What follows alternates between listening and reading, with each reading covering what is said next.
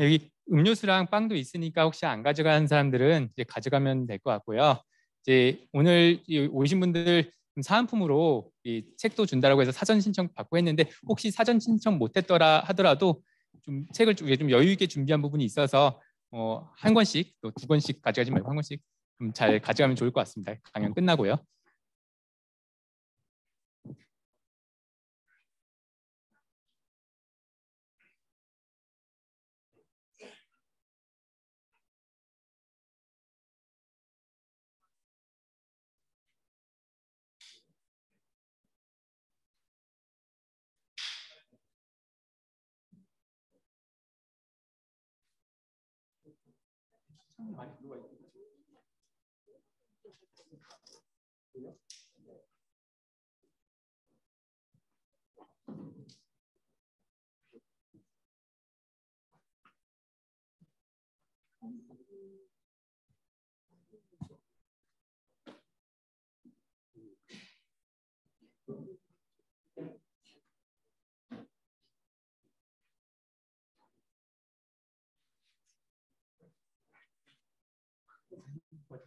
선생님도 있다고.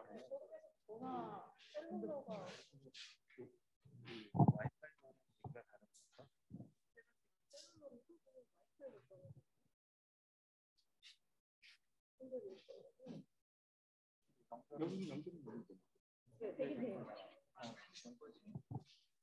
아, 아.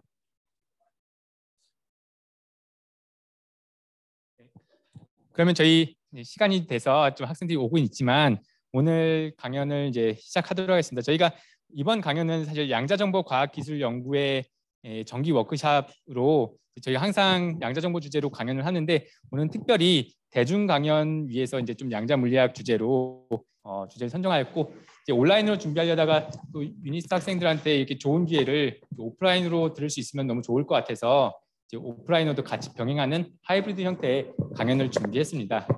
특히 오늘 강연은 이제 연사 두 분을 초청을 했는데 경상대 이강영 교수님 그리고 이제 키아스 박권 교수님을 초청하게 됐고 두 분 모두 물리학 서적 어, 추천 도서로 잘 우리가 볼 수 있는 책도 쓰셔서 이미 좀 익숙한 교수님들 혹은 여기 참여해 주신 학생들도 많이 있을 것 같습니다.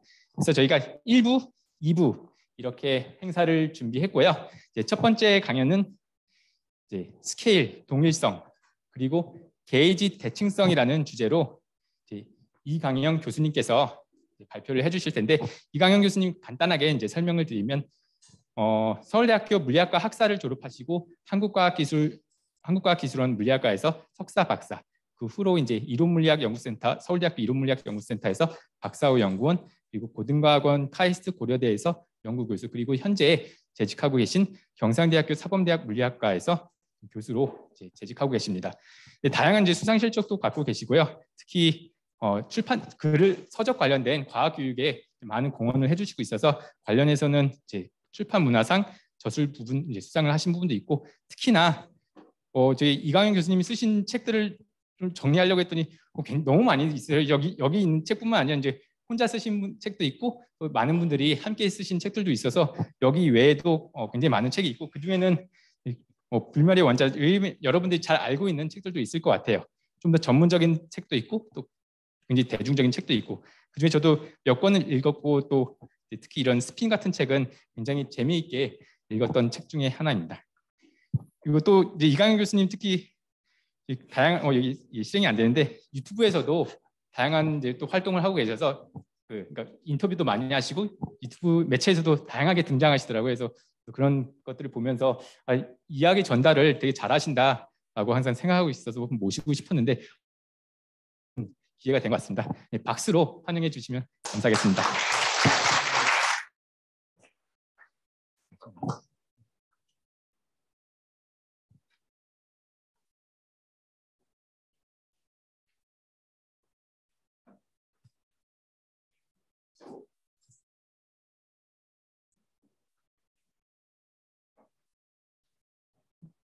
Yeah.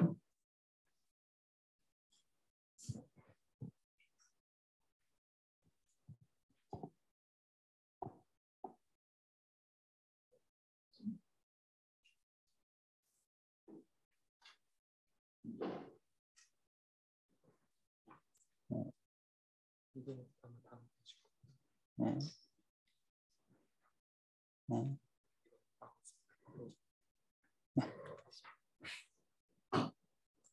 그냥 말하면 지금 소리 잘 들리나요? 소리 잘 들리시나요? 뭐 줌으로 한다니까 저쪽 온라인으로도 잘 들리신지 모르겠네요. 네, 감사합니다. 방금 소개받은 경상국립대 이강영입니다. 어, 이렇게 양자정부 연구에 초청을 네. 보실까요? 네, 하도록 하겠습니다.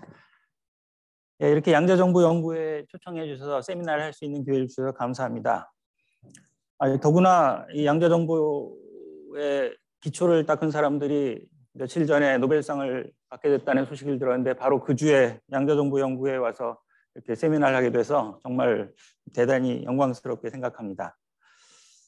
어, 사실 저는 입자물리학을 하는 사람이라서 양자정보에 대해서 뭐 이렇게 잘 아는 것은 아닌데 그래도 이제 관심을 가지고 제가 관심을 가지고 있었다는 증거로 어, 제가 2020년에 연구년을 나갔었는데요. 연구년의 절반을 어, 런던의 Imperial College로 가기로 했었습니다. 거기 김명식 교수님이라고 양자 정보 하시는 아주 아주 훌륭한 분이 계셔가지고 예, 제가 예, 예전에 우연히 이렇게 인연이 닿아가지고 예, 거기로 가기로 했었는데 잘 아시다시피 2020년은 이 모든 사태가 시작된 해고 2020년 하반기쯤에는 영국은 뭐 도저히 갈 수가 없는 상황이어서 제가 아직 인연을 정식으로는 맺지 못하고 있었습니다. 아무튼 그래서 제가 양자 정보에 대해서 뭐 특별히 더 말씀드릴 건 없는데 오늘은 그냥 양자역학에 대해서만 얘기하면 된다고 하시길래 예, 제가 양자역학에 대해서 뭐 여러분보다 그러니까 특별히 더 아는 게 있을 것 같지는 않은데 어차피 뭐 다 우리 양자 역학은 교과서에서 배운 거 이상 제가 뭐 특별히 더 아는 거 있을 것 같지는 않은데 그래도 어 조금 다른 사람과 달리 생각해 본 것들이 몇 가지 있으니까 그런 걸 오늘 한번 얘기를 해보도록 하겠습니다. 그 주제들이 이제 여기 스케일에 관한 것들, 그 다음에 동일성이라고 했는데 뭐 개, 개체성이라고 말하는 게 조금 더 정확할 것 같아서 이렇게 붙였습니다. 그리고 게이지 대칭성이란 말보다도 그러니까 좀 더 포괄적으로 게이지 이론이라고 말하는 게 좋을 것 같아서 제목을 이렇게 살짝 고쳐봤습니다. 그래서 먼저 스케일에 관련해 가지고 양자역학과 스케일에 대해서 잠깐 얘기를 해보도록 하겠습니다. 자, 이 스케일이라는 것은 뭔가 크기하고 관련된 건데요. 네, 크기라는 거는 이제 여러 군데서 매우 중요합니다. 이제 이런 영화의 모토가 바로 사이즈 더즘 에러였는데 이 영화만 해도 벌써 한 15년은 된 영화니까 15년이 아니라 한 20년 된 영화니까 여기 있는 학생들은 전혀 실감을 못 하겠군요. 술 마실 때도 중요합니다. 크기는. 네, 크기에 맞는 잔을 써야 우리가 적정량의 알코올을 먹게 되지 잔 섞어서 쓰면 곤란합니다. 여기도 크기가 매우 중요한데 이것도 옛날 그림이라서 겨우 30인치 가지고 이렇게 굉장히 큰 것처럼 나와 있네요. 자, 그래서 이제 우리가 물리학을 분류할 때, 우리 물리학의 분야를 얘기할 때 흔히 이 스케일 가지고 이렇게 얘기를 많이 하죠. 그래서 가장 작은 스케일을 다루는 입자 물리학에서부터 가장 큰 스케일을 다루는 우주 전체를 다루는 천체 물리학까지 그 사이에 많은 물리학들이 있습니다. 이제 우리가 이런 숫자들을 이렇게 쭉 써, 써놨는데 이 숫자들은 지금 미터라는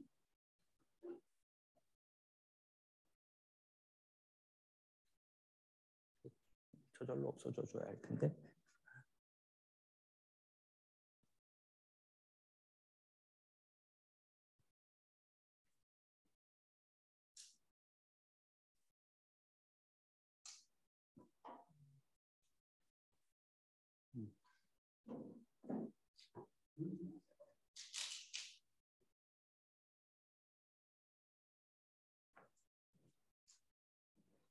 예, 뭐 저는 얘기는 하고 있을게요.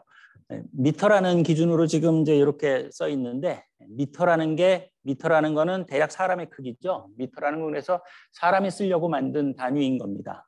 그래서 이제 미터라는 기준을 가지고 뭐 이런 숫자들을 우리가 쭉 썼는데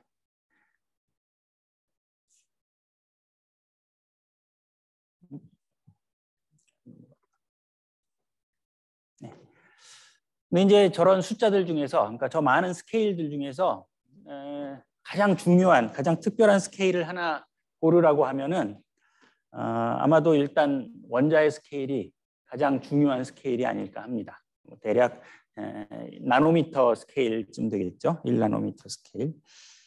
아니 근데 뭐 스케일이 특별할 게 뭐가 따로 있나 하는 생각을 우리가 할 수 있는데 우리가 고전 물리학의 세계에서는 기본적으로 스케일이란 개념 자체가 어, 거의 없습니다.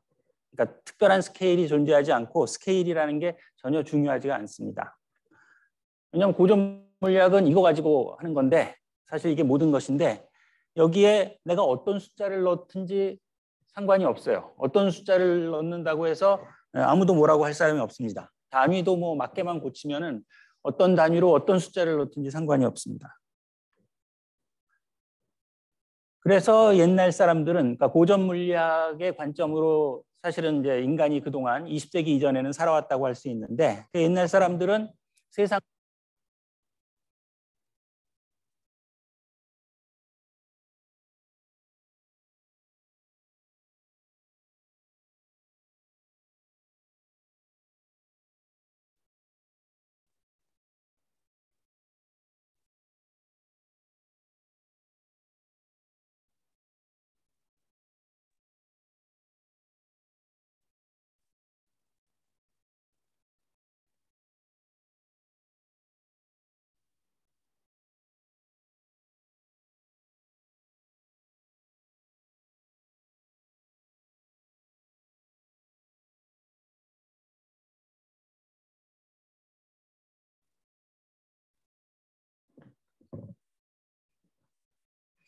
네, 네 소리 들리시죠?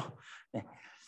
뭐 이것도 이건 이제 20세기 들어와서도 물론 우리의 일상적인 생각은 늘 이런 그런 식으로 생각하는 경우가 많습니다. 이게 50년대인가 영화인데 보통 이제 마이크로 결사대라는 제목으로 번역해서 많이 나오는 영화입니다. 이게 뭐냐면은 사람 누가 병이 들어가지고 사람들을 축소시켜 가지고 요 우주성 아니 요뭐 잠수성까지 축소시켜서 몸속으로 들어가서 예, 병을 고치고 마지막에 이렇게 눈물로 이렇게 나오는 마지막 장면이라고 그래요. 그런 이제 SF 영화입니다. 이렇게 사람을 이렇게 축소시켜도 몸속에 들어가서 이제 막뭐 백혈구로부터 쫓겨다니고 뭐 그런 일들을 하는데 그런 정도로 축소시켜도 똑같고 이 사람들 행동하는 거는 우리 일상적인 세계에서와 똑같이 행동을 합니다. 이 아이디어는 이제 굉장히 히트를 해가지고 90년대에도 다시 이렇게 리바이 리메이크가 됐었는데 뭐 다른 것보다도 여배우 때문에 제 나이쯤 되는 분들은 알, 아실 텐데 역시 지금 학생들은 뭐 아무 관심이 없겠군요. 맥라이언인데.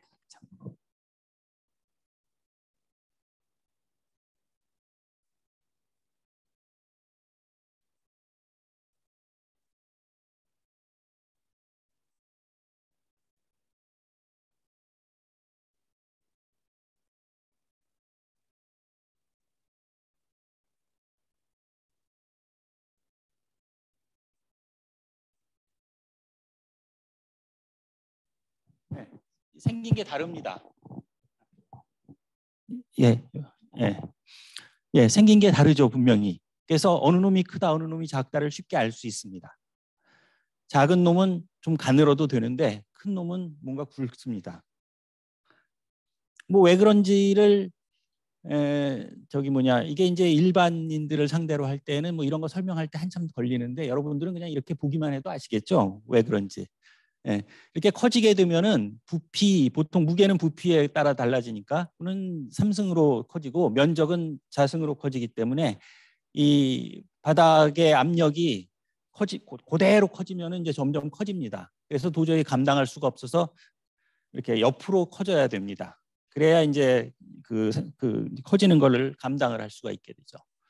뭐 이런 걸 봐도 우리가 이제 아기가 작기 때문에 그 무게에 비해서 표면적이 아이가 더 큰 겁니다. 그래서 목욕하고 나면은 열의 발산이 훨씬 많습니다. 그 무게에 비해서. 그래서 애들은 목욕하고 나면 빨리 닦아줘야 됩니다. 어른들은 좀 버텨도 되지만. 뭐 조금 더 쉬운 예로는 뭐 당연히 이렇게 설탕 똑같은 설탕인데 깨놓으면은 더 잘 녹죠. 표면적이 많다는 것이 이렇게 중요합니다. 이런 식으로 뭔가 고전 물리학의 세계도 스케일에 따라서 뭐가 다른 일이 일어나는 것처럼 보이는데 그런데 이 정도 스케일에서 이 정도 크기에서 일어나는 일들은 정말로 아까 그 F는 MA거든요. 거기에 다른 근본적인 법칙은 없습니다.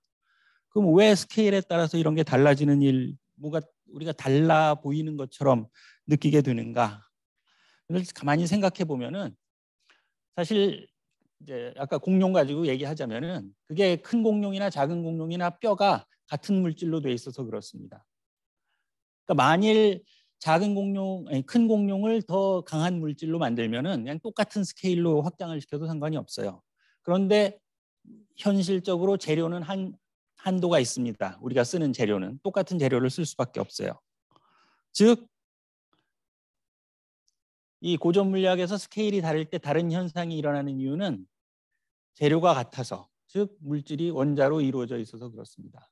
그러니까 물질이 원자로 이루어져 있다는 사실이 사실은 그 배후에 있는 겁니다.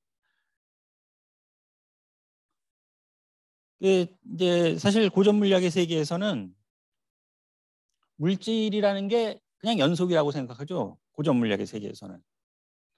그러니까 뭐 굳이 말하자면 이제 유클리드의 점 이 합쳐지고 선으로 돼 있고 뭐든지 아무튼 원리적으로는 한없이 작게 나눌 수 있다고 생각을 합니다. 고전 물리학의 세계에서는. 그, 그렇지 않아야 될 이유가 없어요. 그게 이제 바로 실수의 세계인 거죠. 그래서 이게 정말로 존재하는 거라고 19세기까지는 진짜로 모든 사람들이 다 그렇게 생각했고 그래서 실수 이름이 real number인 겁니다. 그런데 이제 원자라는 게 느껴지기 시작하면 자르다가 원자라는 거에 그 효과가 느껴지기 시작하면은 예, 더 이상 이제 물질이라는 것이 연속이 아니라는 걸 우리는 잘 알고 있습니다.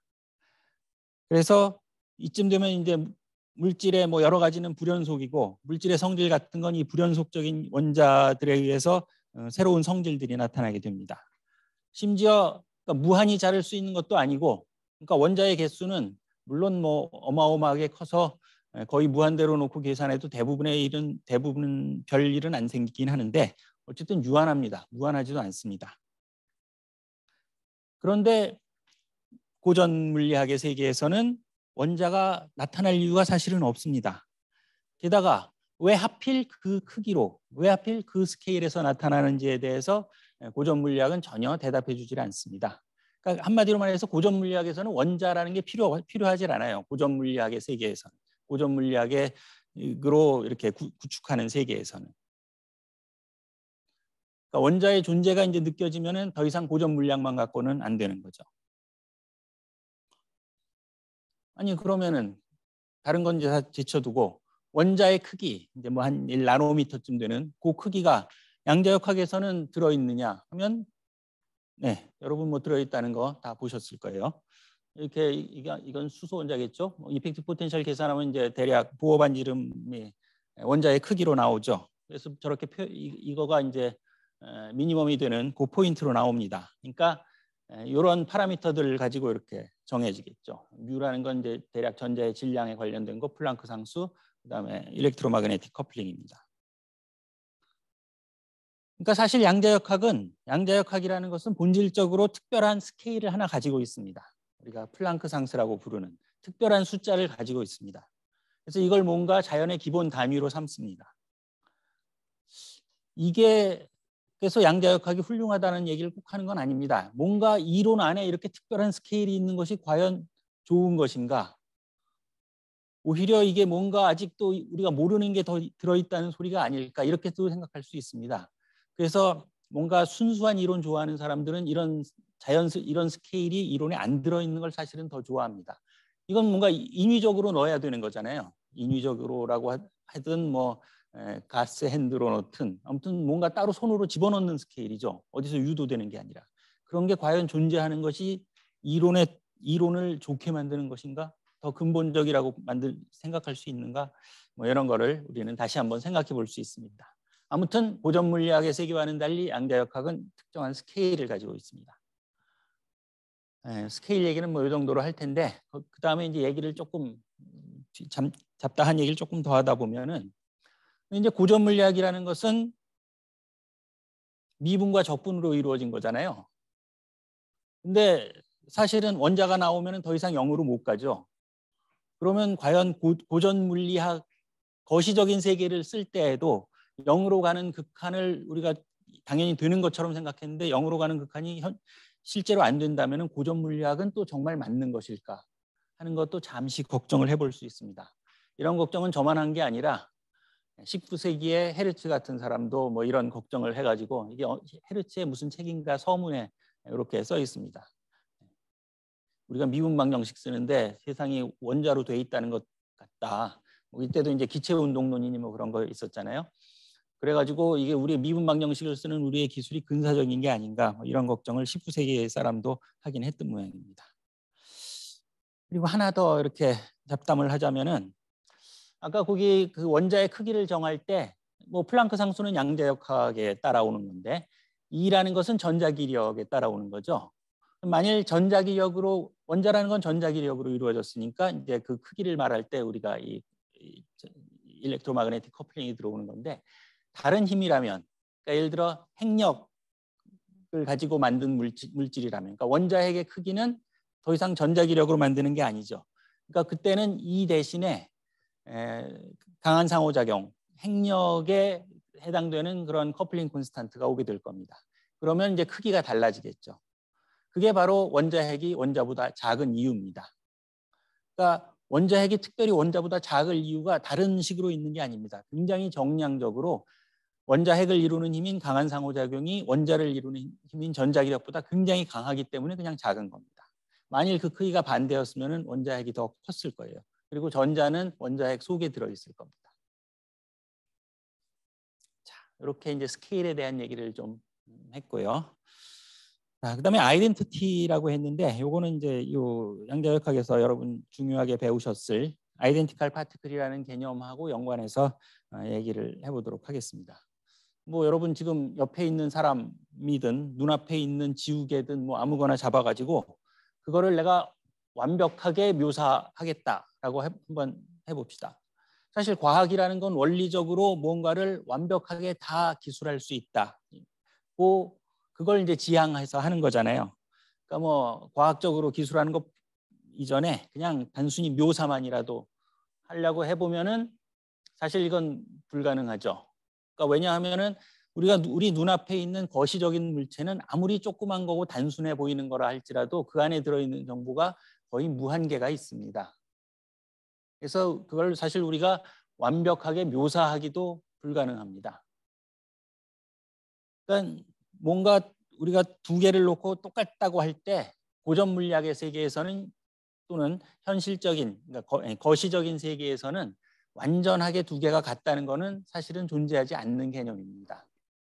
물론 이런 건 옛날 사람들도 잘 알아가지고 여러분이 이제 뭐 이런 책 보다 보면 플레, 플라톤의 이데아 개념 뭐 이런 얘기를 이제 보셨을 텐데 그 이데아 개념이 어디서 처음 나오냐면 파이돈이라는 책에서 이 같다는 개념을 얘기하면서 처음 나옵니다. 이데아라는 게. 우리가 이제 눈앞에 나무 토막 두 개를 보고 같다고 하는데 얘네들은 틀림없이 같지 않다. 찾아보면은 이 나무 토막은 이쪽에 기스가 나 있고 이쪽 뭐 크기도 조금 사실은 조금 다르고 이렇게 분명히 같지 않은데 이 두 개를 우리가 같다고 하는 것은 같음이라는 거에 이데아가 어디 존재하기 때문이다. 뭐 이런 식으로 하면서 이데아라는 개념이 도입됩니다.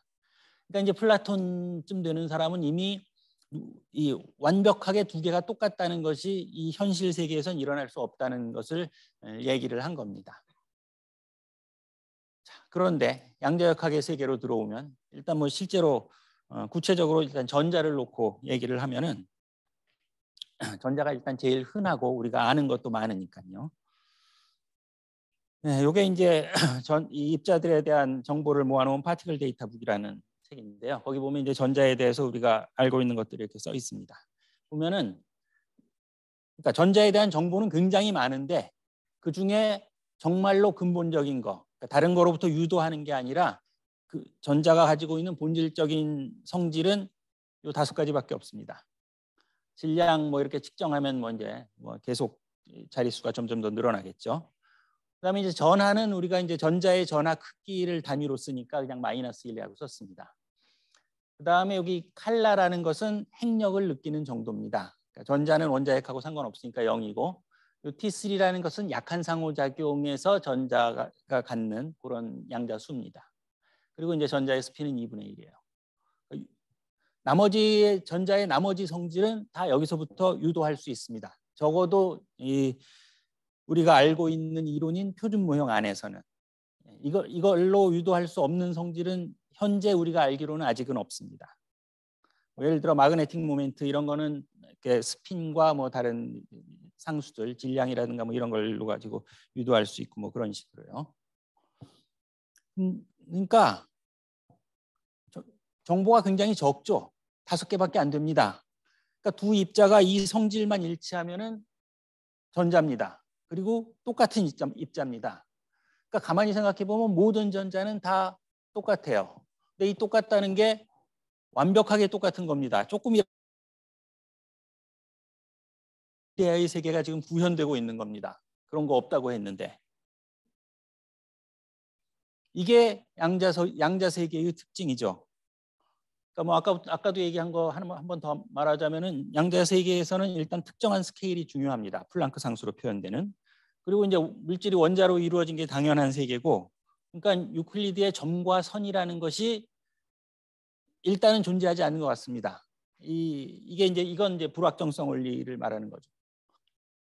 그 다음에 완전한 같음, 아이, 아이덴티컬 파티클이라는 개념에서 나오듯이 완전한 같음이 정말로 실제로 존재하는 일종의 이데아의 세계 같은 세계입니다. 그러니까 뭐 전자뿐 아니라 양자역학에서는 성질이 같은 입자들은 그냥 다 똑같다고 얘기를 합니다. 이 아이덴티컬 파티클이 그러니까 양자역학에서 굉장히 어, 중요한 개념입니다. 여러분 두 번째 학기쯤에 배우실려나 뭐 요쯤에서 역사적인 사실을 조금 이렇게 뒤집어 보면은 파울리 사실 이렇게 보면 다 1925년이에요. 1925년이 양자역학에서 얼마나 중요한 해였던가. 그러니까 도대체 저때 이 별자리가 어떤 모양으로 돼 있었고 뭐 그런 게 막 궁금해지죠. 그러니까 1925년 1월에 베타 원리 논문을 파울리가 발표를 합니다. 사실 논문 자체는 조금 전에 24년 12월쯤에 나왔어요. 그래서 보호하고 뭐 편지 주고받은 거 보면 이제 이때 벌써 보호가 막 칭찬하고 그럽니다. 그리고 이제 그해 7월에 하이젠베르크가 그 유명한 양자역학 논문을 발표를 했고 저 헬골란튼가 가서 논문을 들고 왔고 그걸 보고 보른과 요르단이 이제 양자역학에 관하여 온 퀀텀 메카닉스라는 논문을 발표를 합니다. 그리고 하이젠베르크까지 합류해서 11월에 논문을 하나 더 발표해서 요 하이젠베르크, 보른 요르단, 그다음에 세 사람 다 한 거 이렇게 세 개를 보통 이제 괴, 괴팅겐의 양자역학 논문 3부작이라고 하고 이게 괴팅겐에서 만들어진 양자역학 논문들이라고 얘기를 하죠. 근데 이제 그때쯤에 마침 그 중간쯤에 그 네덜란드의 울렌벡과 호우트스미트가 스핀이라는 얘기를 이제 합니다. 이, 그러니까 이 하이젠베르크하고는 전혀 무관하게 그리고 이 하이젠베르크의 논문을 보고 영국에 있던 디랙이 혼자서 끄적끄적 해가지고 논문을 하나 발표를 합니다.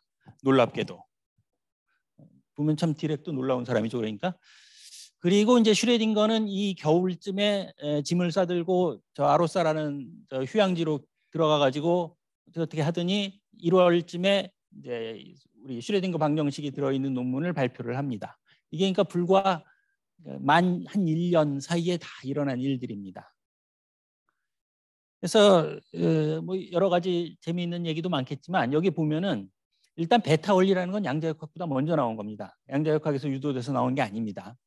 그러니까 오로지 그 파울리가 주기율표를 뚫어지게 쳐다보면서 어떻게 끄집어낸 뭐 그런 이론 체계인 겁니다.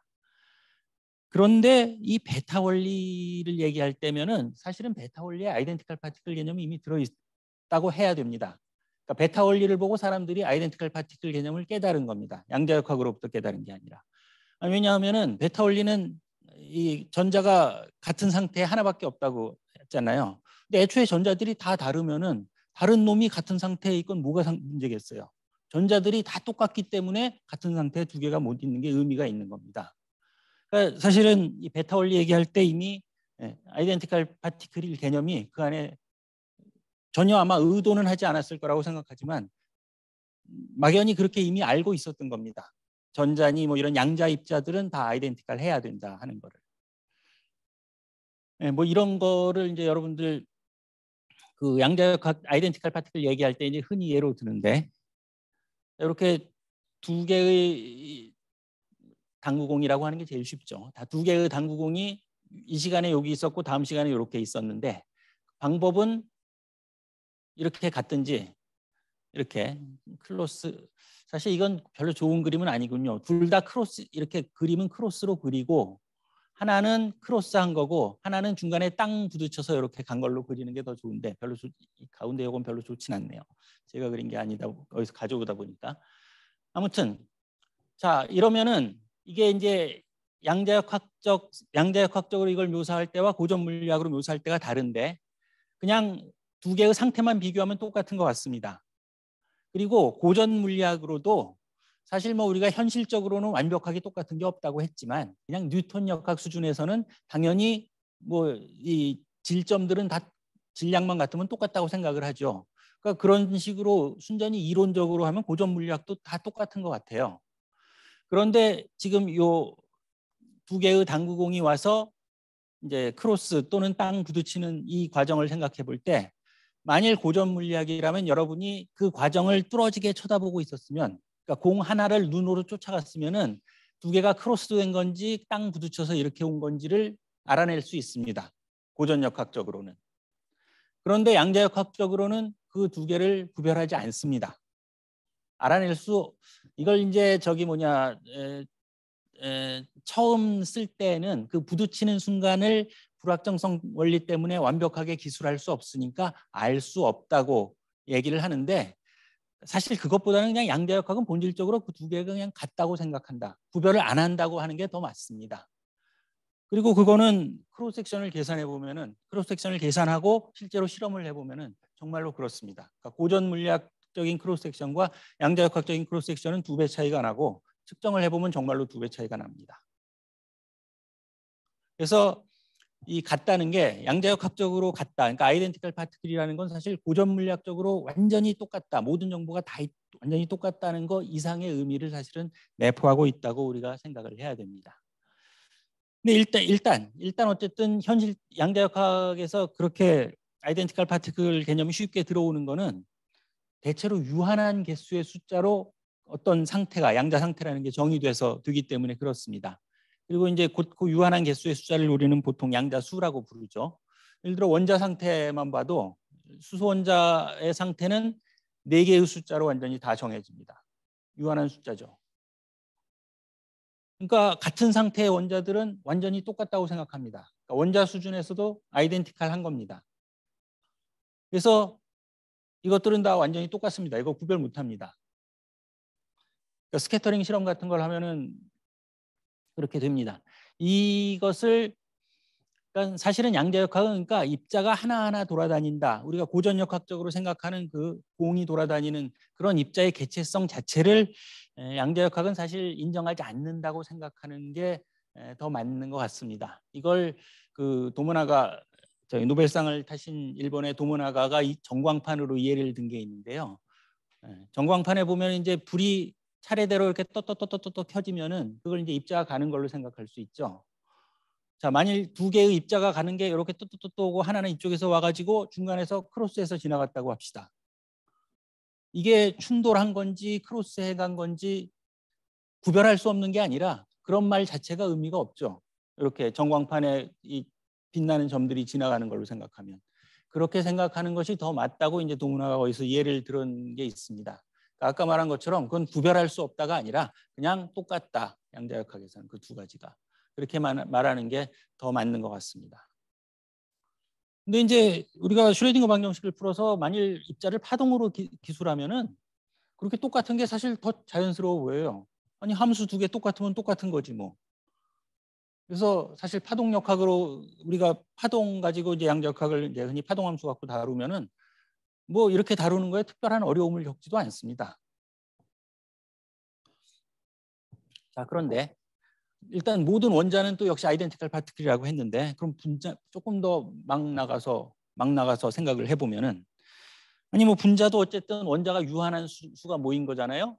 그래서 크기는 굉장히 커지는데 숫자는 유한한 개수고 그러니까 아무튼 같은 상태의 분자는 똑같다고 해야지 다르다고 할 수 있을까요?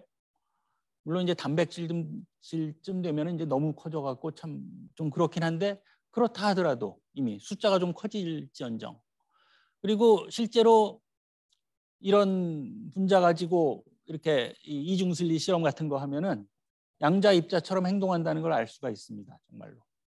그러니까 여전히 분자 스케일에서도 아이덴티컬 파티클 개념이 작동을 하는 겁니다.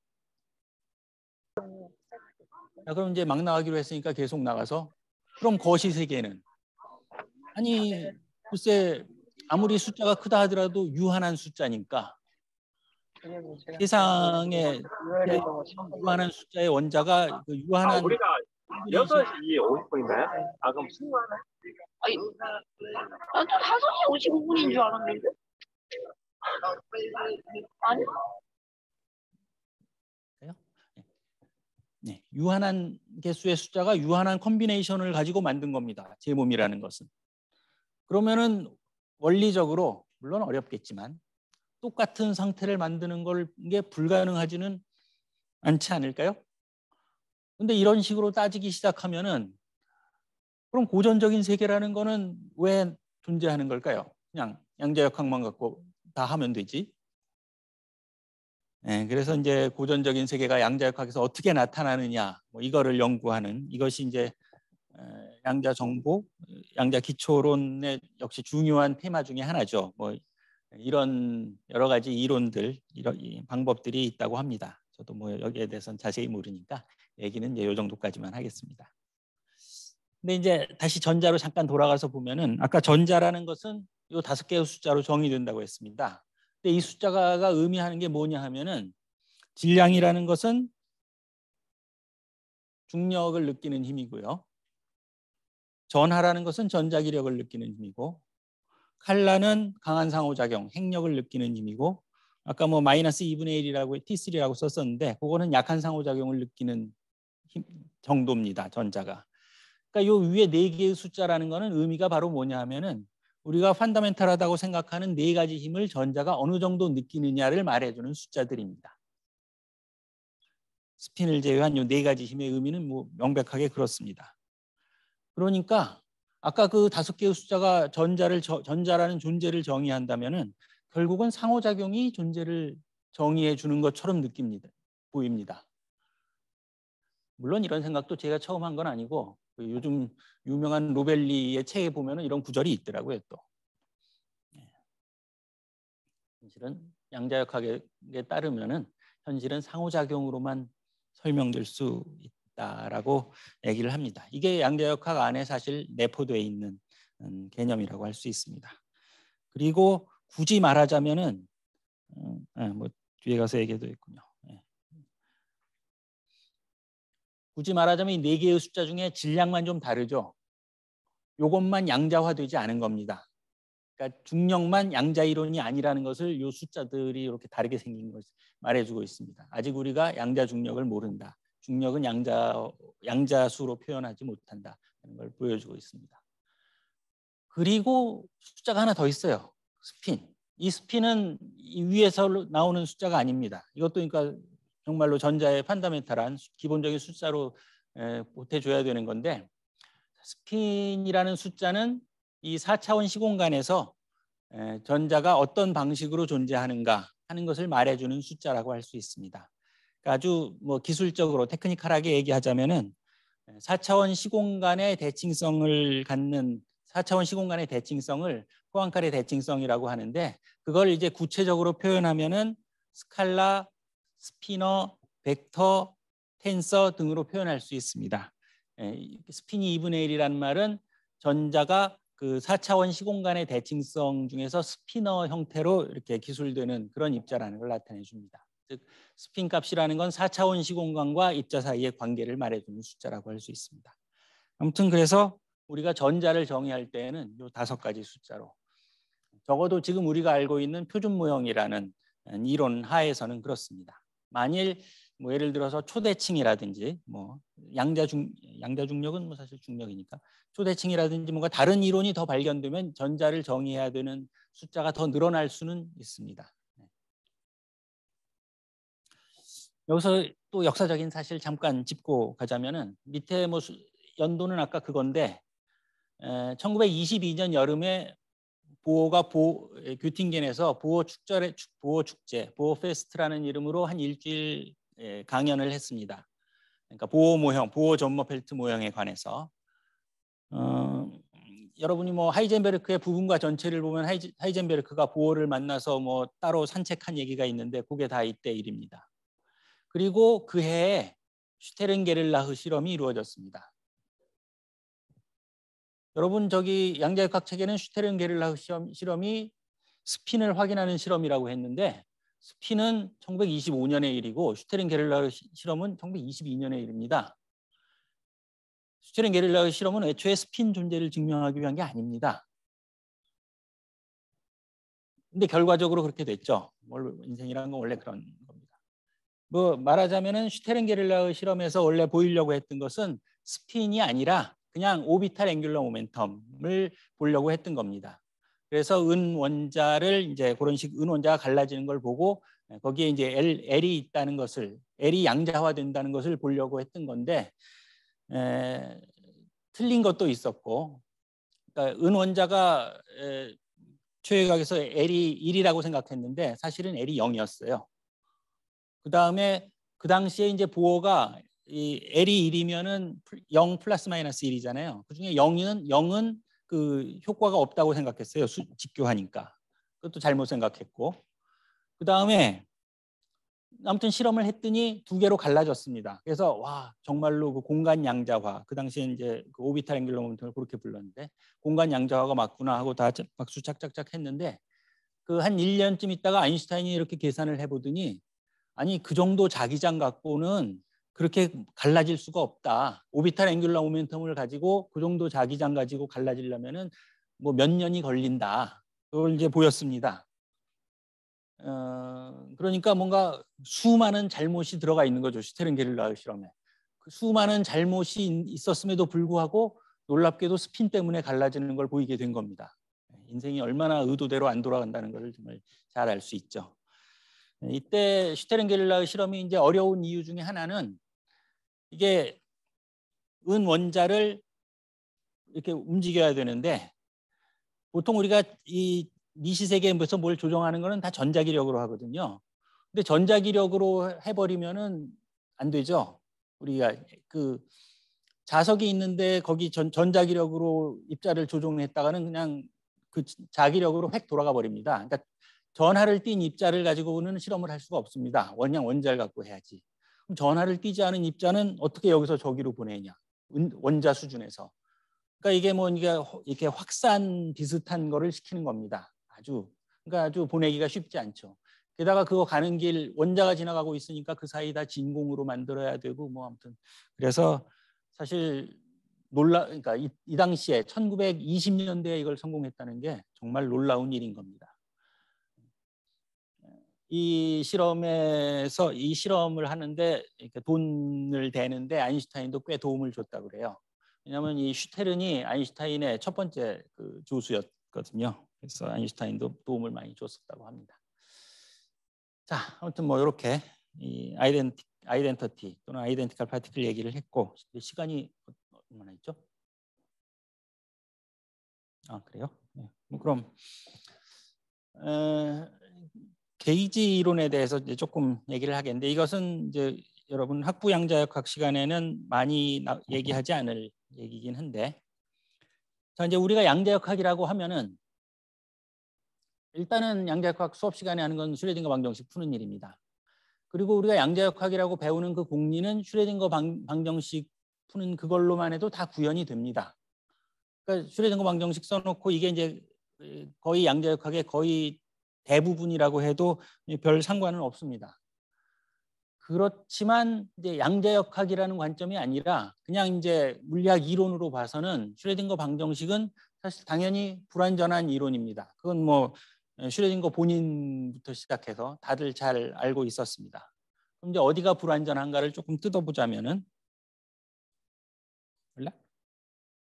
이상한 게또 있군요. 일단 이제 뭐 흔히 얘기하는 거죠. 특수상대성 이론과 이렇게 맞질 않습니다.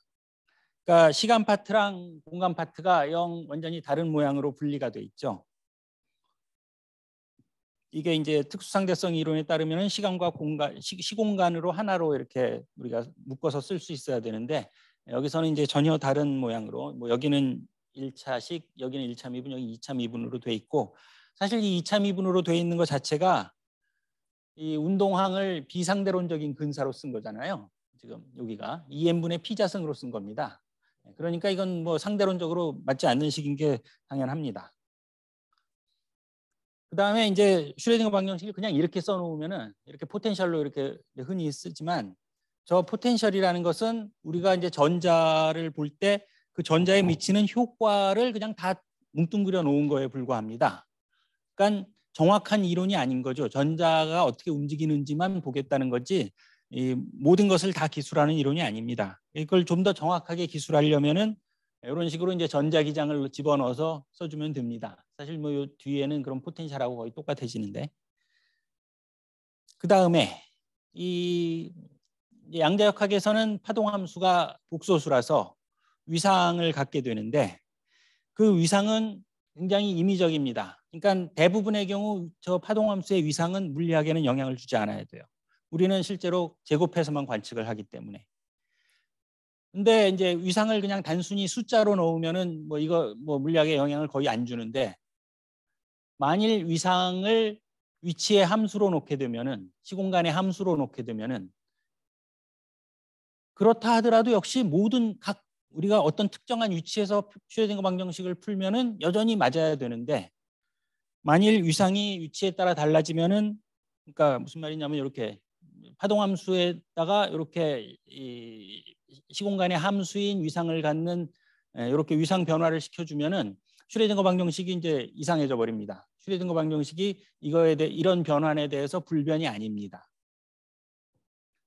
그래서 슈레딩거 방정식 자체로만은 이게 그러니까 뭔가 완전한 이론이 아닙니다. 여러 가지 삐걱거리는 것들이 많이 있죠.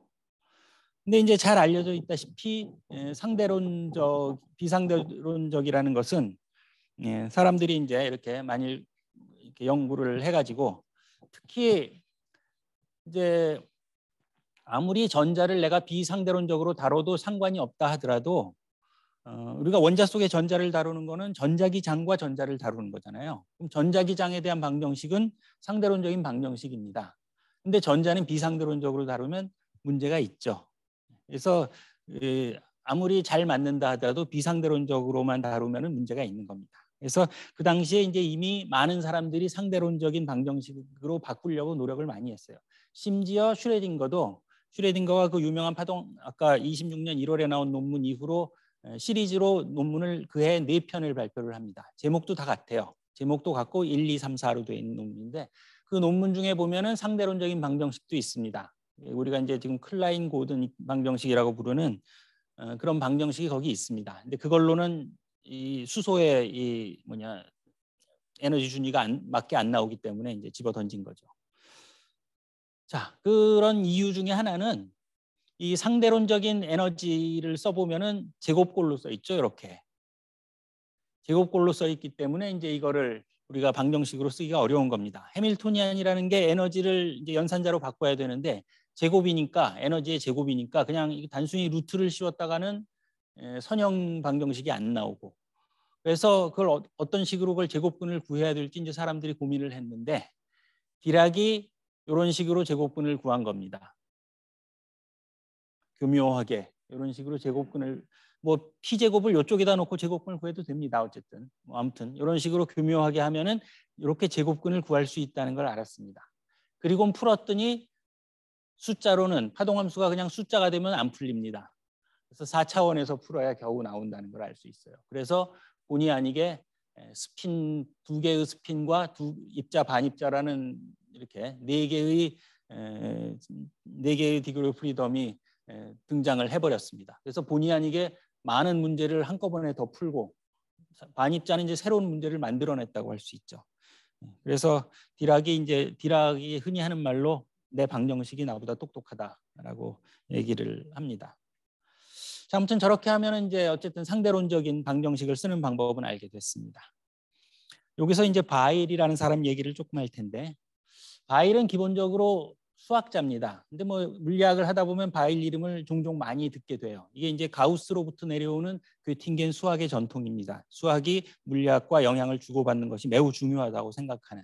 이게 이제 가우스, 리만, 데데킨트, 힐베르트, 펠릭스 클라인 뭐 이렇게 내려오는 전통이고 헤르만 바일도 바로 그 전통을 잇는 괴팅겐, 괴팅겐 수학을 의 전통을 잇는 사람입니다. 실제로 힐베르트가 은퇴하면서 자기 후계자로 바일을 교수로 데려왔어요.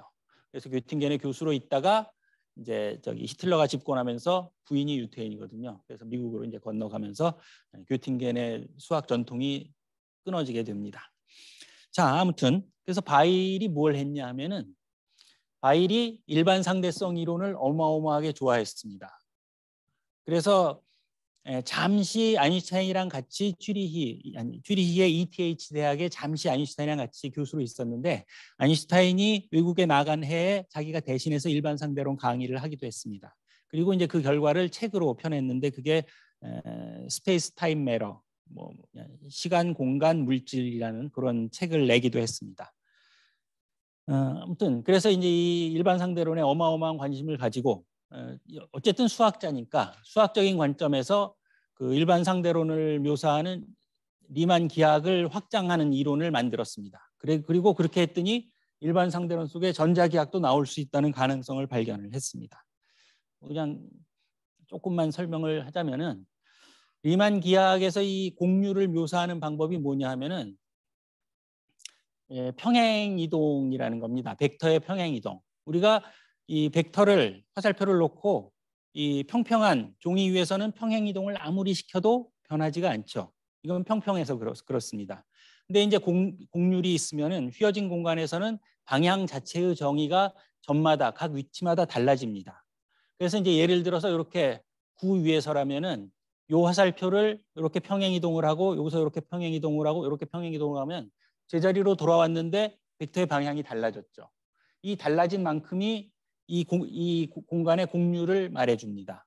이런 이 닫힌 경로에 대해서 이 하는 거를 매우 작은 경로로 그래서 모든 점마다 그렇게 모든 점, 점마다 그런 작은 경로를 만들어서 할 때 각도가 얼마나 달라졌느냐 그것이 그 공간의 공률로 공률을 표현해 줍니다. 그게 이제 리만 기하학인데 바일이 한 생각이 뭐냐 하면은 자 이런 데를 이렇게 돌아와서 방향이 변하는 그런 기하학을 생각할 수 있으면 길이도 변하는 기하학을 생각할 수 있지 않느냐.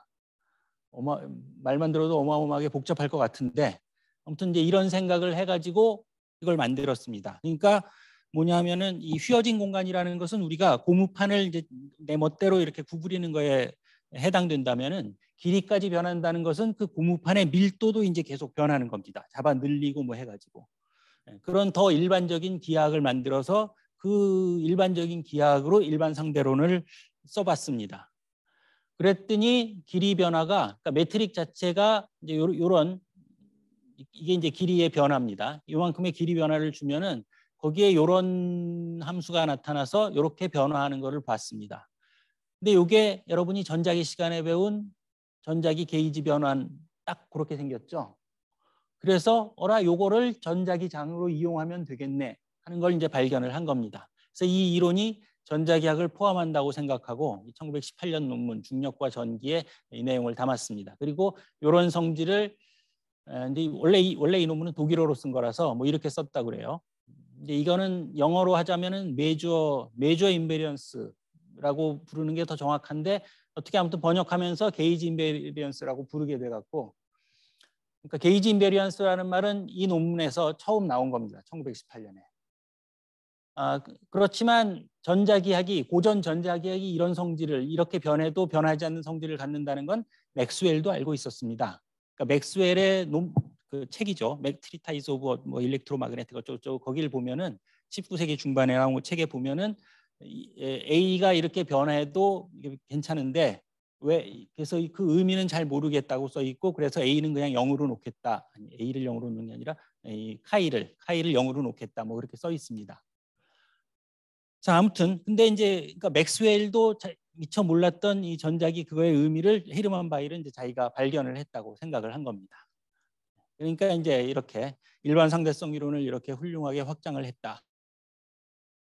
보냈더니 아인슈타인도 일단 감동을 했습니다. 아, 이런 훌륭한 이론이. 근데 물리 이론은 도저히 안 되겠다. 이게 시공간의 변화인데 공간뿐 아니라 시공간의 변화여야 되는데 그런 식으로 경로를 따라 이렇게 움직일 때마다 이 길이가 달라지면은 시간의 길이도 달라질 수 있고 그러면 모든 점마다 사실은 다른 시간을 가지고 있는 셈이 돼가지고 예를 들어서 원자마다 다른 시간을 그 원자가 갖고 있는 셈이고 이거는 그러면은 그 선 스펙트럼을 볼 때 시간이 다르기 때문에 스펙트럼이 달라집니다 원자마다. 네, 그래서 굉장한 직관이죠 아인슈타인도 그러니까 정말로 물리학에 대해서는 안 된다고 훌륭한 이론 수학 이론인데 물리학 이론은 아니라고 바일은 이제 할 말이 없어졌습니다. 그래서 이제 원래 이제 물론 엽서를 몇 번 보내서 저항을 하긴 했는데 뭐 이제 안 된다는 걸 하고 포기를 했습니다. 그런데 몇 년 후에 그러니까 슈레딩거는 1922년에 슈레딩거가 1922년에 이 아로사 바로 그 아로사입니다. 저 슈레딩거 방정식 만들 때 갔었던 그 동네 그 동네에 1922년에도 이제 슈레딩거가 이제 쉬러 가서 겨울에 거기서 이제 뚝딱거리면서 이 바일의 그 팩터 이 지수함수꼴 팩터 있죠. 여기다가 i를 붙이면은 크기가 안 변해가지고 뭔가 유용하다라는 논문을 썼습니다. 슈레딩거가. 그거를 론돈이라는 사람이 이제 그걸 보고는 이걸 가지고 바일 이론을 양자역학하고 이렇게 엮을 수 있겠다라는 생각을 합니다. 바일, 론돈, 포크 이런 사람들이. 그래서 그 전자기가 변할 때 그 함수가 파동 함수의 위상 변화랑 이렇게 연결이 된다면은 그러면은 이 슈레딩거 방정식 안에 전자기장이 들어와 있는 그 형태가 바로 이 변환에 대해서 그냥 불변성을 유지할 수 있겠다 이런 아이디어를 냅니다. 네. 슈레딩거가 이제 1922년에 이 아로사에 간 이유는 사실은 슈레딩거가 추리 대학에 오면서 결핵에 걸렸대요.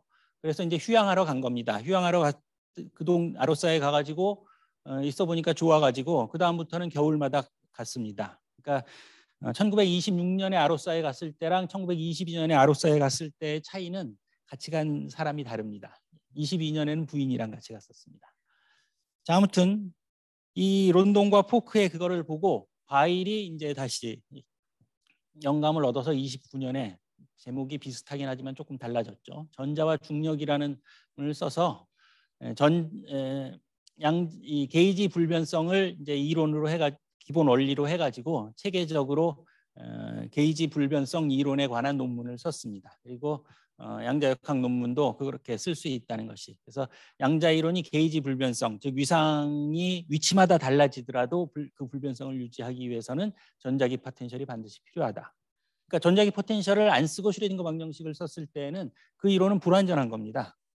전자기 그 이 게이지 불변성이라는 이 그러니까 위치에 따른 위상 변화에 대해서 이 이론이 달라지기 때문에 불완전한 이론인 겁니다. 근데 이렇게 하면은 훨씬 완전한 이론이 되는 거죠. 네, 그래서 이 바일의 이 논문은 이 논문이 진정으로 게이지 이론이 이제 시작되는 논문입니다. 그래서 우리가 저기 여러분들 전자기 시간에 맥스웰 방정식을 이렇게 쓰는 거를 배우시죠? 이제 전자기학을 이론하는 교수가 가르칠 때면은 그 사람은 이제 첫 시간부터 이거를 쓰고 싶어서 손이 근질거리는데 꾹 참고 마지막 시간까지 참고 쓰는 건데 실험하시는 분은 꼭 안 그럴지도 모르겠어요. 아무튼 우리가 맥스웰 방정식을 특수 상대성 이론과 게이지 불변성이라는 두 개의 원리만 가지고 그러니까 실험 이런 거 하나도 상관없이 그냥 오로지 이 두 개만 하는 이 두 개만 성립하는 이로, 방정식을 쓰면은 일반적으로 이렇게 두 개를 이렇게 두 개의 식을 쓸 수가 있습니다. 이걸 풀었으면은 이게 그냥 맥스웰 방정식 여러분 알고 있는 그 네 줄의 식이 됩니다. 보면 이제 F 뮤뉴가 게이지 불변하도록 쓰는 방법이고 이것이 이제 전기장과 자기장에 해당되고 맥스웰 방정식이라는 게 전기장과 자기장 미분하는 한 번 미분하는 식인데 그래서 F 뮤니에다가 미분을 붙일 때 인덱스를 여기 있는 걸로 붙이느냐 다른 걸로 붙이느냐 두 가지 방법밖에 없죠. 두, 그래서 여기 있는 걸로 붙이면은 이런 방정식이 되고 다른 걸로 붙이면은 이런 수학적인 아이덴티티가 나옵니다. 그래서 이 두 개가 이제 맥스웰 방정식이 됩니다. 이것도 그러니까 이런 통찰도 이 바일이 그 논문에서 1929년 논문에서 쓴 겁니다. 내용은 당연히 맥스웰이 만들었던 그 당시에도 다 있었는데 이걸 게이지 일반 게이지 불변성이라는 그런 관점에서 이렇게 정리한 건 바일이 1929년에 한 겁니다. 그러니까 우리는 이제 이론 물리학의 굉장히 기본적인 원리, 아주 근본적인 원리로 반드시 지켜야 될 원리로 양자역학과 상대성 이론에 이어서 게이지 불변성도 반드시 지켜야 되는 원리라고 이제 주장을 할 수가 있어요. 그러면은 이 세 개를 다 만족시키는, 그러니까 다른 거 필요 없이 이 세 개만 이 세 개라는 원리만 가지고 우리가 방정식을 쓰면은 그 이론은 뭐가 되냐 하면은 일단 이게 됩니다. 양자 전기 역학이 됩니다. 다른 뭔가 이 실험, 그러니까 현상적인 실험적인 근거 없이도 이 방정식을 쓸 수가 있습니다. 사실 그 저 세 개 중에 하나를 빼놓고 생각하면은, 그러니까 상대성 이론하고 게이지 불변성만 합치면 이제 맥스웰 방정식이 된다고, 그러니까 고전 전자기학이 된다고 그랬죠 아까. 그리고 상대성 이론하고 양자역학만 합쳐놓으면은 그게 아까 디렉이 썼었던 디렉 방정식입니다. 자유입자의 디렉 방정식인 거죠. 전자기장이 없이. 그 다음에 어, 상대성 이론을 빼고 게이지 불변성과 양자역학만 가지고 쓰면은 이게 이제 아까 썼었던 아까 해밀토니안을 썼었던 그 전자기장을 포함한 비상대론적인 슈레딩거 방정식이 됩니다. 이걸 다 부분적으로 사람들이 만들어 온 거죠. 근데 요거를 그냥 다 합쳐 갖고 그냥 하나로 쓰면은 매우 아주 깔끔하게 이론이 하나 써집니다. 라그랑지안이 하나 쓰여집니다. 그게 바로 양자 전기역학이 된 겁니다. 그래서 어떤 의미에서 이 양자 전기역학이 예, 적어도 지금 우리가 알고 있기로는 첫 번째로 나, 타난 완전한 이론이라고 할 수 있습니다. 그러니까 뭔가 순전히 이론적인 견지에서 뭔가를 잘 설명하고 이걸 떠나서 이론의 구조상 첫 번째 완전한 이론이라고 할 수 있습니다. 물론 이제 여기서 그냥 단, 지금 저는 그냥 양자역학 얘기만 했는데 이거를 이제 장 이론으로 이제 확장을 하고 뭐 그런 부분이 더 있습니다. 그리고 이제 QED가 성립하기 위해서는 예, 그 장리론으로 확장한 뒤에 뭐 재규격환이 뭐 이렇게 그 파인만과 슈빈과 같은 다음 세대의 뭐 스타들이 등장해서 할 일이 여전히 많이 있습니다. 뭐 그거는 예, 다른 데에서 예, 또 다른 기회에 뭐 얘기를 하면 되겠죠. 어쨌든 이렇게 게이지 이론이라는 것이 어떤 의미에서 양자역학이나 어, 상대성 이론만큼이나 뭔가 물리학 이론에 굉장히 근본적으로 중요성을 갖는 거라고 지금 우리는 생각을 하고 있고 어, 그래서 우리가 이 뭔가 근본적인 힘을 기술할 때에는 다 우리가 확실하게 아는 것은 게이지 이론으로 기술하는 방법이 우리가 가장 확실하게 아는 겁니다. 심지어 양, 충분히 양자 이론으로 양자 이론으로 쓰지 못하는 일반 상대성 이론조차도 일종의 게이지 이론으로 우리가 표현을 할 수가 있습니다. 이렇게 해서 게이지 이론에 대한 네, 환기를 시켜 시키는 걸로 오늘 제 강연을 마치도록 하겠습니다. 감사합니다.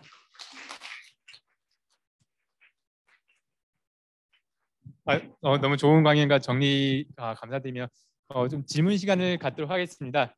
어, 여기 현장에 계신 분들도 있고 또 온라인에 계신 분들도 있어서 온라인에 계신 분들도 뭐 채팅창에 남겨주셔도 되고 아니면은 그 마이크를 켜고 말씀하셔도 여기 들리니까 그렇게 해주셔도 될 것 같습니다. 혹시 현장에서 질문 있으시면, 있으시면 손 들고 네, 말씀해 주세요.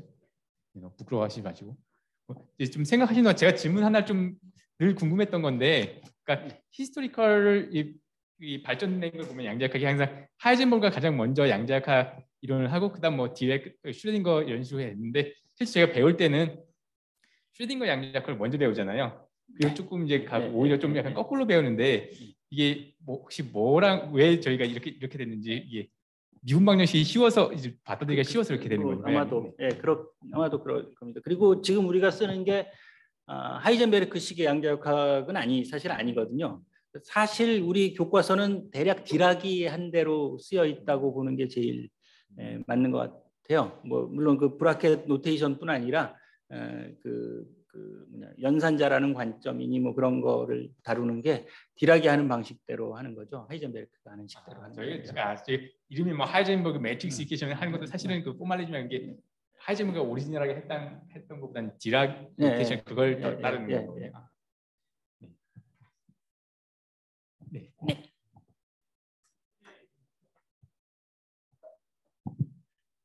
예, 강연 잘 들었습니다. 아주 기본적인 질문인데요. 그 양자역학에서 다섯 가지 특징으로 전자를 완전하게 기술한다고 말씀하셨고 그걸로 전자의 모든 특징을 다 예. 어, 뽑아낼 수 있다고 말씀하셨는데 그것들로 어떻게 전자의 크기가 나올 수 있는지 궁금하네요.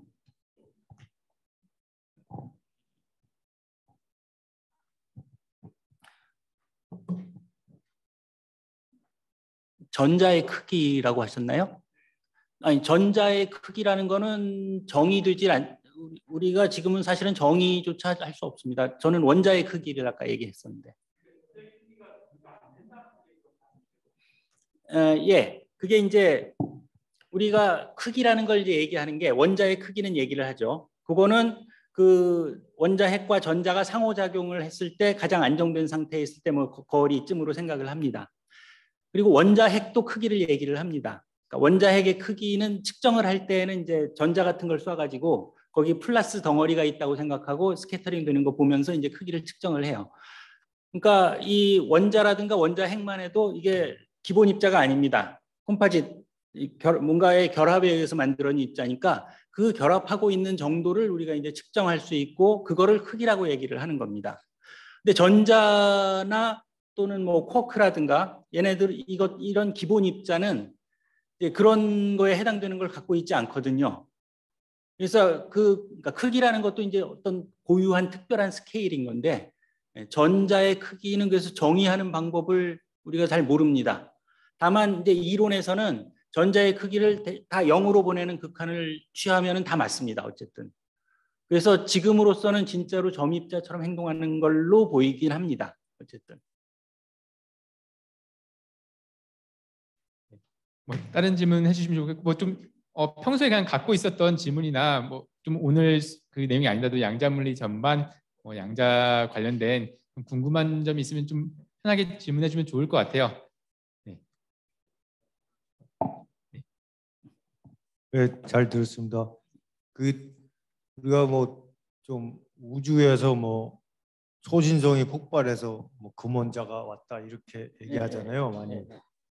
근데 이제 양자역학적으로 보면 indistinguishable particle이잖아요, 다. 네. 이제 전자부터 페르미온, 네. 뭐 디락, 페르미온, 보존 이렇게 하면서 그냥 네.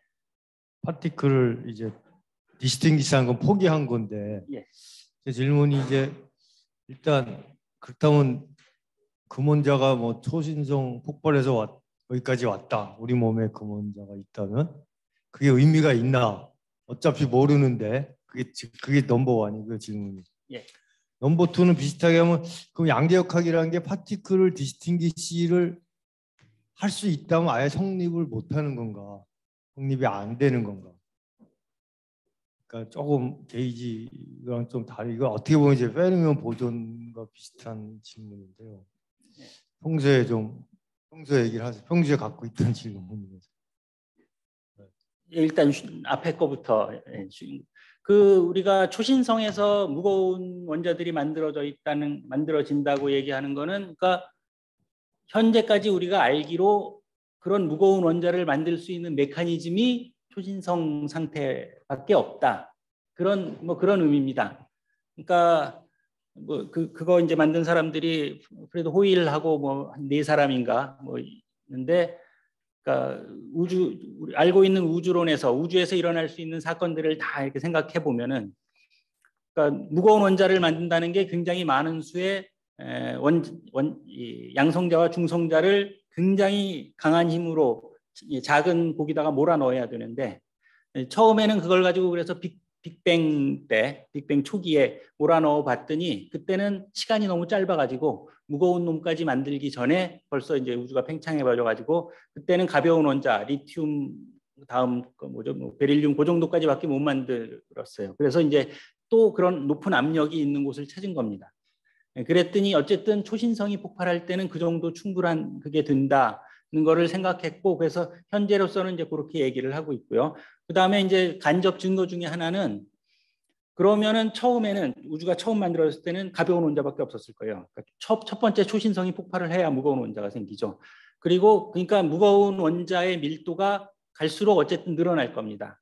근데 측정을 관측을 해보면은 초기에 만들어졌던 벼- 은하라든가 걸 관측해 보면 거기에는 무거운 원소가 거의 없어요. 그러니까 이제 그 뒤에 그런 초신성 같은 과정을 통해서 만들어졌다는 것이 예, 맞다 하는 것을 이제 이제 간접적으로 우리가 support를 받을 수 있고요. 뭐 그 외에 근데 다른 메커니즘이 더 있을 수는 있습니다, 물론. 예, 그 우리가 아직 모르는 메커니즘이 또 뭐 블랙홀이라든가 이번에 지금 이제 중력파로 관측하는 블랙홀이나 중성자별이 이렇게 머지하는 그 과정에서도 뭐, 뭐 뭐가 또 있을 수도 있고 다만 그럴 경우에는 이제 그 그놈들이 이제 얼마나 바깥으로 나올 수 있는지 뭐 그런 문제가 또 있겠지만 예, 아무튼 그러니까 무거운 입자가 나온다는 건 그런 의미죠. 그러니까 메커니즘을 찾았다는 의미입니다. 예, 어느 초신성에서 나온 게 지금 내 몸에 있는 것까지는 뭐 알기는 어렵겠죠 물론. 그 다음에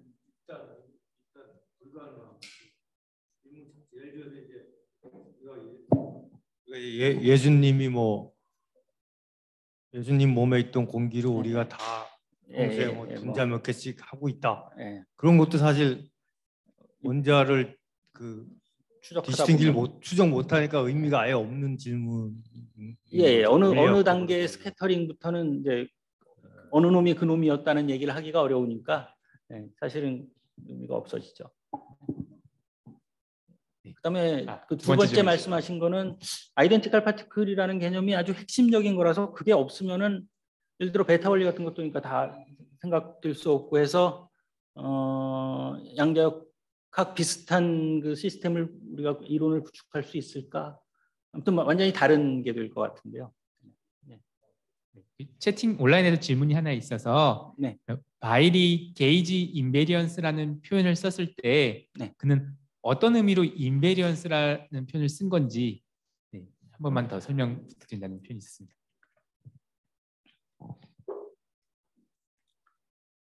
그러니까 이론이 예, 뭐 이거 이거보다 아까 예, 여기군요. 뭐 이렇게 한 바퀴 모든 점에서 닫힌 패스를 이렇게 한 바퀴 돌았을 때 벡터가 그때 벡터의 길이도 변한다고 치고 길이 벡터의 길이들은 다 변하는데 이론은 변하지 않 이론의 방정식은 변하지 않는 그런 걸 요구한 겁니다. 이론의 방정식이. 그러니까 뭐 매트릭 같은 게 이제 이렇게 변하고 이렇게 했을 때 저, 저렇게 변했음에도 불구하고 최종적으로 이론의 방정식은 변하지 않는다는 의미로 어, 매트릭 게이지 인베리언스라는 말을 썼습니다. 네. 네, 교수님들 말고 학생들도 질문 좀 많이 해주세요.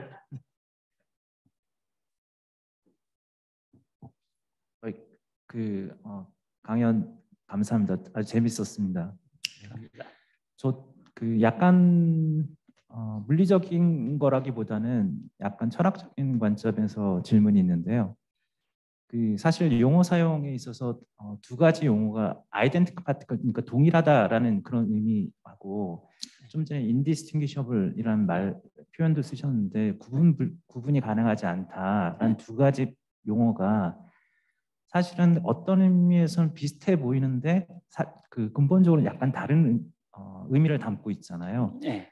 인디스팅기셔블은 우리가 관측이나 측정 같은 걸 해서 파악을 하는데 구분이 안 되더라라는 의미가 담겨 있다고 하면 아이덴티컬이라는 것은 그런 측정과는 무관하게 본질적으로 얘네들이 같다 다르다. 뭐 아까 네. 이제 다섯 가지 전자의 성질에 대한 것도 말씀하시긴 했는데 네. 네, 그런 의미를 두 개가 서로 다른 의미를 조금 담고 있는 것 같거든요. 네. 근데 이제 말씀하시는 어, 강연이 사실은 그 이제 하나 제가 이제 이렇게 얘기하면 어, identical 뭐 이런 거를 약간은 Platonism에 가까우신 어, 그 접근 방법인 것 같고 네. indistinguisha- indistinguishable이라는 것은 물리 이제 측정과 관련된 거라서 어떤 의미에서는 operationalism에 좀 가까운 것 같은데 네. 강연 어, 내용을 들어보면 그 두 가지가 이렇게 어떤 의미에서는 약간씩 그 한 어쩔 때는 Platonism에 가까운 말씀을 하시고 gauge theory 같은 거는 전형적으로 이제 Platonism에 가까운 말씀을 하시고 또 이제 어떤 경우에는 이제 operationalism에 가까운 말씀을 하시고 그러긴 하거든요. 그래서 어떤 생각을 갖고 이제 접근하고 이해하려고 하시는 건지가 궁금해가지고요.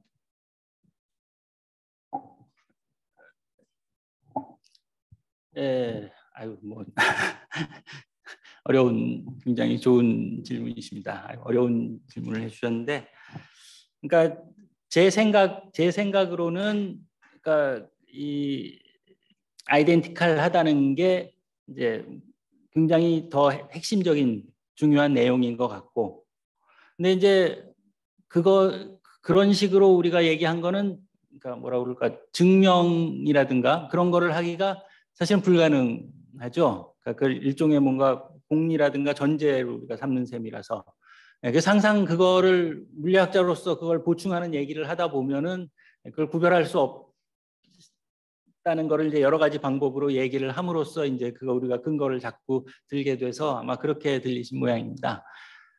어쨌든 그러니까 저는 이 아이덴티칼 파티클 개념이 양자역학이라는 그 이론의 훨씬 제일 아주 근본적인 그런 역할을 해야 되는 뭐뭐 지금은 이제 우리 보통 양자역학 공리 쓰고 그럴 때는 그건 쓰지는 않는데 어딘가 아무튼 그런 공리 수준에서 들어가야 되는 더 근본적인 개념이라고 저는 생각을 합니다.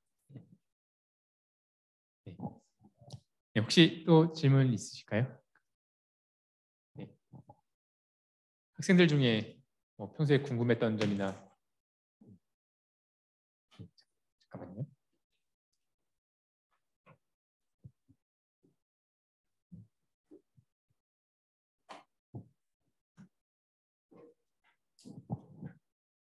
어, 좋은 강연 감사합니다. 그 제가 알고 싶은 거는 그 역사 설명해 주실 때 이제 special relativity를 적용한 슈레딩거 equation을 두 가지를 소개하셨는데 하나는 클라인 고든 equation, 하나는 디랙 equation인데 그 클라인 고든 equation을 조금 음, 디랙 equation보다 중, 어, 비중을 낮게 설명을 하시고 넘어가셨는데 혹시 어떤 이 두 이퀘이션의 어떤 관점의 차이라고 해야 하나? 그 접근법이 어떻게 차이가 나는지 알고 싶습니다. 네, 클라인 고든 이퀘이션은 이렇게 지금 여기 제곱으로 써 있죠. 이 제곱으로 쓴 걸 그냥 쓴 겁니다. 요, 요 제곱으로 돼 있는 데다가 그냥 이제 파동 함수를 쓴 겁니다. 그러면은 그 지금 제가 학부생이라 잘 모르겠는데 그 지금은 아예 안 쓰이는 아니요. 그게 이제 그건 아니고 그러니까 나중에 이제 밝혀지기를 클라인 고든 equation은 어, 보존의 보존의 상대론적 방정식이라는 게 이제 밝혀졌습니다. 그러니까 클라인 고든 equation은 그냥 숫자로도 이렇게 solution이 나오거든요. 그래서 클라인 고든 저기 뭐냐 스칼라 입자는 클라인 고든 equation으로 이렇게 상대론적 방정식이 기술된다는 게 알려졌습니다. 그래서 클라인 고든 equation도 당연히 지금 다 잘 쓰이는 방정식입니다. 예. 감사합니다. 갈 때 빵과 우유 다섯 개씩 가져가요. 저 하, 나만 더 질문하겠습니다. 예. 저기 전자 때문에 제, 계속 재밌어가지고 생각을 하는 중인데요. 그 전자를 말씀하시다가 원자 말씀하시다가 이제 좀 더 복잡한 분자까지 말씀하시면서 이게 아이덴티컬 하냐 아니냐 말씀하셨는데 네. 네. 저 같은 경우는 이제 프로테인을 연구하는 입장에서 네. 어, 한 프로틴과 다른 프로틴이 그 뭐 단백질의 서열이 똑같다고 봤었을 때도 다르다고 얘기할 수 있는 것은 당연하게 그 복잡한 구조들이 꺾여 있는 정도가 다 다를 수 있고요. 그다음에 그 움직임이 다를 수 있기 때문에 사실은 그거에 따라서 펑션이 있고 없고의 차이가 안 나기 때문에 당연히 identical 하냐고 하면 아니라고 얘기할 수 있는 것인데 네, 네. 그러면 아까 전에 말씀하셨듯이 전자 같은 경우는 사이즈가 없으니 구조는 생각할 필요는 없을 것이고 그래도 이 dynamics라 그러면 그 자체로 dynamics를 보인다기보다 움직임은 있을 것인데 그러면 가만히 있는 전자와 빠르게 움직이고 있는 두 전자를 봤었을 때 양자역학적으로 아까 전에 다섯 개 말씀하신 그 property는 같지 않습니까? 그게 그 정지 질량을 말씀하신다고 하면은 그러면은 움직임을 나타내는 어떤 양자역학적 기술이 그건 고전적으로 봐야 되는 겁니까? 아니면 어 움직이고 있으나 아니면 가만히 멈추고 있는 전자는 양자역학적으로 같은 걸로 봐야 되는 겁니까? 음 뭐 예, 양자역학적으로 뭐 당연히 같죠. 에너지가 다르게 가지고 있는 에너지가 다르겠죠. 그러니까 에너지라는 개념은 고전적인 겁니까? 아니면 그 양력 양자역학적인 개념? 겁니까? 그럼 고전역학에서 가지고 온 개념과 양자역학이 섞여 있는 거라고 보면 됩니까? 아니면 그 움직이고 있는 전자를 기술한다고 했었을 때는 어,